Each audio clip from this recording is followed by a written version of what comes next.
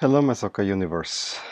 Here's another jersey that I did not expect wearing in a Women's World Cup highlight, well, not highlight video, review video, better said, Argentina. There were only two games today and not many goals scored, exactly one to be uh, exact. But on the other side, there was a lot of action, and the first game between uh, Japan and Argentina proved to be a nail biter. This was a game where I expected many, many goals, simply for the. And you know, I'm not the best expert on women's soccer, but I follow it uh, close enough to know that Japan, world champions in 2011, Olympic uh, runner ups in 2012, and World Cup runner ups in 2015. On the last two occasions, beating beaten by the US, and in 2011, beating the US on penalties. So Japan is a force in women's soccer, and they're a little bit like Spain um, in the men's you know from 2008 to 2012 that they're all short uh, nice passing play usually very nice to watch. Um, i watched parts of the game mostly the second half and you know um, not really attentive. We were having dinner at the same time so I, I thought yeah i have it on my phone here if something happens but i'm not going to watch closely. But what i could see is that japan had a really hard time breaking down the Argentinian defense, and the Argentinian girls were fighting for their lives and uh, putting in a super spirited performance that you just can have to commend them for that. Um, the longer the game went on, the more I really wanted Argentina to pull off the upset and even win it. And you could see that uh, they're number 10, and I'm not sure how quickly I will get that out now. Uh, yes, here we have uh, Banini, her the captain.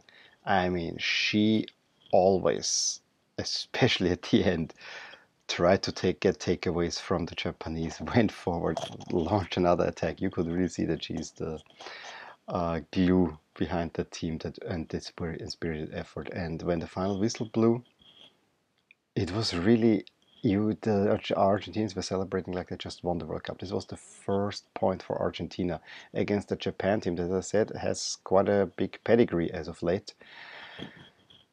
And now looks to be a little bit in trouble. I mean, they have to play England and Scotland still, and I don't know what Argentina will be. This group looks to be an interesting one, especially with Japan and England in there. Uh, and if Japan needs a result, that might be interesting.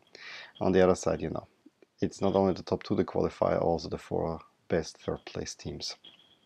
But yeah, this nil-nil draw, no goals, but probably one of the more exciting matches so far at this World Cup. The other game, I have not seen a thing from it. I just watched the statistics and so on. It was Canada against Cameroon with Canada winning 1-0. There was also the hit the woodwork in the first half, had a lot of possession, a lot of chances, and you know, Canada is also one of those teams uh, that are maybe, you know, the second tier, maybe a little bit even below there. But you know, they are a decent uh, side.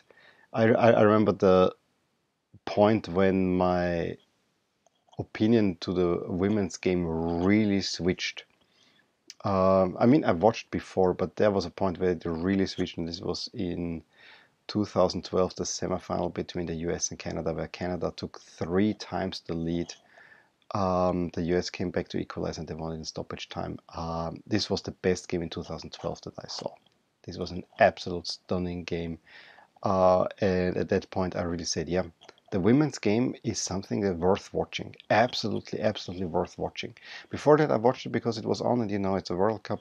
You you can watch it. I, I didn't think much of it, but that game really changed my, my, my perspective on things. So uh, I was quite excited about it. And you know, whenever I see a women's tournament, especially, in, I mean, it's national team level, mostly, exclusively, that I watch women's soccer, but I actually enjoy it. And you know, it didn't hurt that the Austrian women made it um, to the semifinals in Euro 2017. And their coach, I see now almost on a weekly basis because his kids go to the same school as my daughter. So that's a fun fact. Yeah, but Canada hangs on to win 1-0 against Cameroon. Cameroon for the first time with Le Coq Sportifs jerseys. We only know Cameroon with Puma for the longest of time since 98, I think. So that will be for a jersey review. I'm already working on jersey review. Um, expected maybe somewhere midweek in the coming. The first part, the first part. I mean, it will be a six-part video. Okay, I'll expect a lot more goals tomorrow or today, depending when you when you're watching. There we have the New Zealand against the Netherlands. I'm actually looking forward to watch the Netherlands. Probably will put it on at work uh, to have that game. We also have Sweden play Chile and the US against Thailand. I think that's that should be the massacre I expect. I expect it uh, sooner. I think the US will put a few goals up there, so I would expect goals tomorrow.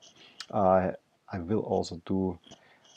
This is now, you know, on Monday evening. I will do uh, Tuesday morning. I will do my Euro qualifying update because there's so many highlights to watch that I just can, uh, can, cannot get to. But you know, let's do the women's game first because it was easy to that.